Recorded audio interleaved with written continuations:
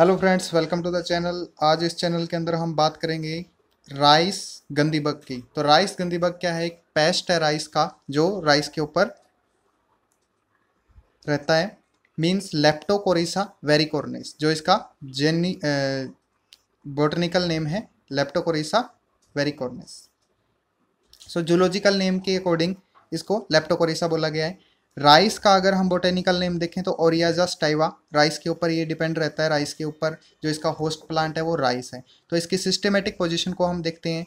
Kingdom है Animalia phylum Arthropoda sub phylum Mandibulata because it have its mouth part sucking and piercing type super class Hexapoda class Insecta order और family जो इसका order है वो Hemiptera है family Coreidae genus and species तो आप जानते ही हैं लेप्टोकोरिसा वेरिकोर्निस जीनस और स्पीसीज के नीचे अंडरलाइन ज़रूर करेंगे because we can't write in italics तो पहले इसका डिस्क्रिप्शन के बारे में डिस्कस करते हैं। अगर हम इसका डिस्क्रिप्शन देखें तो ये ऑल ओवर इंडिया के अंदर ही पाया जाता है। ऑल ओवर इंडिया के अंदर हमारे जो राइस ग्रो होते हैं, लगभग 75 परसेंट राइस ग्रो होते हैं इंडिया के अंदर तो ऑल ओवर इंडिया के अंदर जो लेप्टोकोरिसा वेरिकोर्निस है, वो पाया जाता है।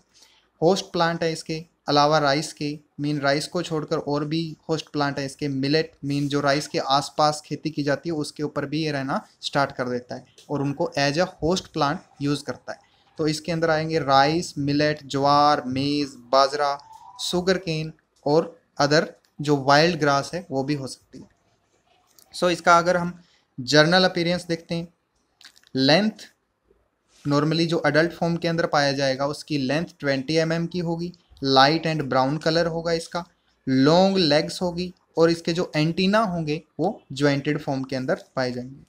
निम्फ जो होगा इसका स्मॉलर होता है अडल्ट से। मोस्टली कई जो स्पीसीज हैं उनके निम्फ लार्जर मिलते हैं अडल्ट से तो अडल्ट की जो शेप है वो बाद में छोटी हो जाती है, पर इसके केस के अंदर ऐसा कुछ नहीं है। जो निम्फ है वो स्मॉलर है। हैबिट एक्टिव होगा ये during morning and during evening time के अंदर इवनिंग आवर्स और मॉर्निंग टाइम के अंदर जो इसकी एक्टिविटी है, वो ज़्यादा देखने को मिलती है क्योंकि ये ठंडे टाइम के अंदर ही लो लो टेम्परेचर के ऊपर ज़्यादा एक्टिव होता है। तो एडल्ट है, उसके अंदर से एक अनप्लीजेंट स्मेल आएगी। अडल्ट अनप्लीजेंट स्मेल फॉर्म करता है। तो अनप्लीजेंट स्मेल होगी, जिसके कारण इसका नाम क्या पड़ा है? गंदी बग। और जो अनप्लीजेंट स्मेल है, वो थोरेसिस कैविटी देती है। रिप्रोडक्शन होगी इसकी जुलाई टू नवंबर के मंथ के अंदर और ठंड के महीनों के अंदर ये हाइबरनेट कर लेता है। ज़्यादा ठंड के अंदर ये अपने आप को हाइबरनेट कर लेगा ओनली नॉर्मल टेम्परेचर के अंदर ये एक्टिव रहता है। मॉर्निंग एंड इवनिंग टाइम में ये एक्टिव रहेगा बट हाइबरनेट कर लेगा ये जो विंटर टाइम आएगा उसके अंदर दिसंबर टू फेबररी तक ये अपने आप को हाइबरनेट करके रखता है। जो इसकी लाइफ साइकिल है life cycle four to five week के अंदर कंप्लीट हो जाएगी। Mean life cycle completed in four to five weeks and give five brood in a season means जो लाइफ साइकिल है, इसकी बहुत ही छोटी है और एक सीज़न के अंदर ये फाइव ब्रूड प्रोड्यूस कर सकता है। तो अडल्ट फॉर्म के अंदर होंगे जो ब्रूड है, वो अडल्ट फॉर्म ऑफ़ लेप्टोकोरिसा को बोला गया है। तो इसकी लाइफ साइकिल को हम देखते हैं। तो फ्रेंड डिस्कस करते हैं life cycle of Leptocorisa varicornis Leptocorisa varicornis की जो लाइफ साइकिल है वो थ्री स्टेजेस की लाइफ साइकिल है मीन इनकम्प्लीट मेटामोरफोसिस भी बोल सकते हैं हम इसको। अगर कंप्लीट मेटामोरफोसिस होता तो यहाँ पे फोर स्टेजेस होती। तो लेप, जो लेप्टोकोरिसा वेरिकोर्निस की अडल्ट जो आपको फॉर्म है वो कुछ इस तरीके की दिखेगी।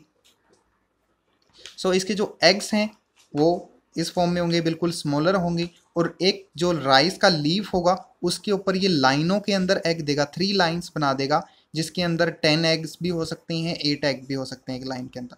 तो ये ग्रुप ऑफ़ एग प्रोड्यूस करता है, जिसके अंदर four twenty four to thirty eggs होंगे in three rose three row के अंदर ये एग देगा अडल्ट और उसके बाद जो एग है इंक्यूबेशन पीरियड के अंदर जाएँगे फाइव टू एट डेज़ के लिए। इंक्यूबेशन पीरियड के अंदर ये एग चेंज हो जाएँगे in the form of nymph nymph अब कैसा है? जो निम्फ है, जो यहाँ से ये स्टेज स्टार्ट होती है निम्फ की ये क्रॉप डैमेजिंग स्टेट स्टार्ट हो जाती है। मीन जो निम्फ है वो क्रॉप के ऊपर अपना मीन क्रॉप को डैमेज करना स्टार्ट कर देता है और जो निम्फ का कलर होगा वो पेल ग्रीन होगा और निम्फ होगा बिल्कुल स्मॉल हो।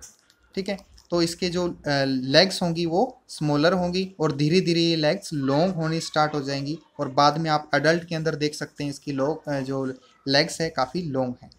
मोल्टिंग स्टार्ट हो जाएगी अब निम्फ के अंदर। 15 टू 80 डे तक 18 डे तक मोल्ट मोल्टिंग रहेगी और मोल्टिंग के बाद जो अडल्ट फॉर्म के अंदर आ जाएगा। अडल्ट फॉर्म कैसी होगी? आपको मैंने जर्नल अपीरियंस के अंदर बता दिया है कि जो जर्नल अपीरियंस है इसके बेड स्मेल देगा और ब्राउन कलर का होता है mostly so thirty five days का इसका लाइफ स्पान होगा और लाइफ स्पान के बाद इसकी डेथ हो जाती है मोस्टली एग है एग का थोड़ा सा डिस्क्रिप्शन कर लेते हैं। एग कैसे होंगे? वन एम लॉन्ग होंगे लगभग। ओवल शेप के अंदर मिलेंगी। ब्लैक हो सकते हैं और फ्लैट भी हो सकते हैं एग और एग बाद में फाइव टू एट डेज़ के अंदर इसके धीरे धीरे निम्फ के अंदर स्टार्ट होंगे।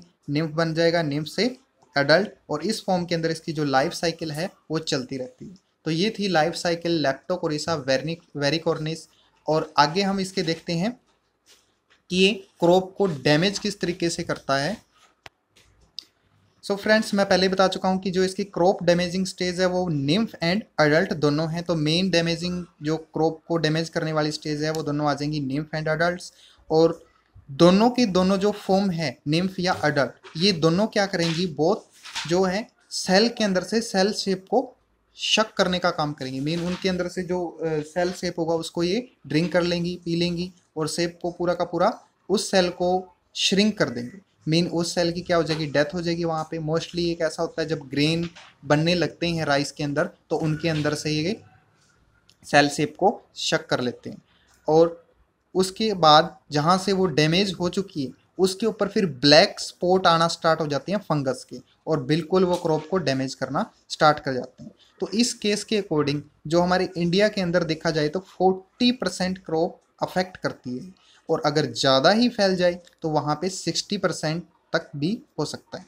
ठीक है? तो 40 परसेंट तो आप देख ही सकते हैं कि 40 परसेंट क्रॉप बहुत ज़्यादा होती है।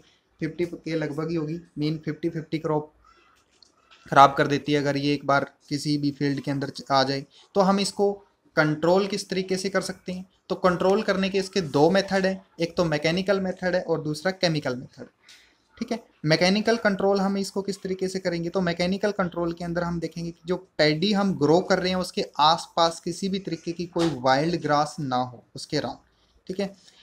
और दूसरा such varieties of grown which seed come out later from the cell mean ऐसी वैरायटी हम ग्रो करें चावल की, जिससे जो सीड है सीड के अंदर से जो प्लांट ग्रो होके आना है, वो थोड़ा लेट आए, ठीक है? तो उससे भी हम इसको प्रोटेक्ट कर सकते हैं। नेक्स्ट के अंदर अगर हम इंसेक्ट को देखें insect should be caught by light traps तो इंसेक्ट को हम पकड़ सकते हैं लाइट ट्रैप के थ्रू इनको किल कर सकते हैं। ये तो थे हमारे मैकेनिकल मेथड केमिकल कंट्रोल की अगर हम बात करें तो केमिकल कंट्रोल के अंदर आ जाएगा राइस का जो प्लांट है, वो मेन फ़ील्ड के अंदर ही ग्रो होता है, काफ़ी जो क्रॉप फ़ील्ड है। तो उसके अंदर एकड़ के हिसाब से हमें एक मीन एक एकड़ ज़मीन के अंदर हमें zero point two five percent B H C या फाइव परसेंट मेलिथियोन डालनी चाहिए, जिससे हम लेप्टोकोरिसा वेरिकोर्निस को कंट्रोल कर सकते हैं। दूसरी बात, जो लीव्स होते हैं, इसके लीव्स के ऊपर अगर हमें एग मिलते हैं तो हम उन एग को कलेक्ट कर लें। कलेक्ट करने के बाद या तो हम उनको बर्न कर दें। बर्न करने, अगर हम उनको बर्न नहीं करते हैं तो उसको कैरोसिन ऑयल के अंदर डिप कर सकते हैं, जिससे वो किल हो जाएँगे या डैमेज हो जाएँगे पूरी तरीके से। तो ये थी life cycle of Leptocorisa varicornis जो कि राइस का एक पेस्ट है, जो राइस को ख़राब कर देता है। तो दोस्तों, आपको वीडियो कैसी लगी तो लाइक एंड सब्सक्राइब ज़रूर करें।